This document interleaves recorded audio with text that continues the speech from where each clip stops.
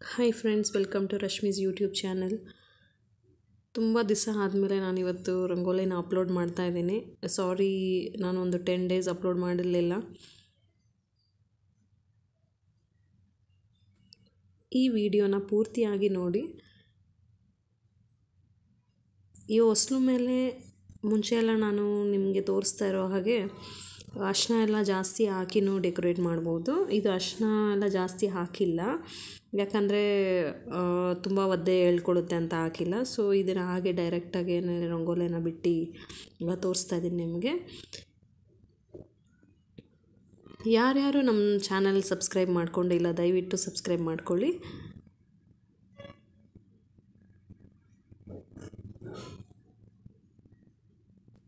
ಈ ವಿಡಿಯೋ ನಿಮಗೆ ಇಷ್ಟ ಆಗಿದ್ದರೆ ಪ್ಲೀಸ್ ಒಂದು ಲೈಕ್ ಮಾಡಿ.